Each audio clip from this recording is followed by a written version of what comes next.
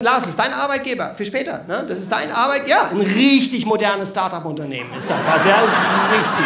Also richtig, mit Siebträgermaschine und so weiter. Also richtig, Coworking Spaces und so. Nur damit du mal weißt, pass auf, ich lese dir mal drei Sätze vor, lieber Lars, und du mal ein Gespür hast, wer dein künftiger Arbeitgeber ist. Steht genauso drin und nicht verändert. Der Tod. Der Tod. Der Tod stellt aus versorgungsrechtlicher Sicht die stärkste Form der Dienstunfähigkeit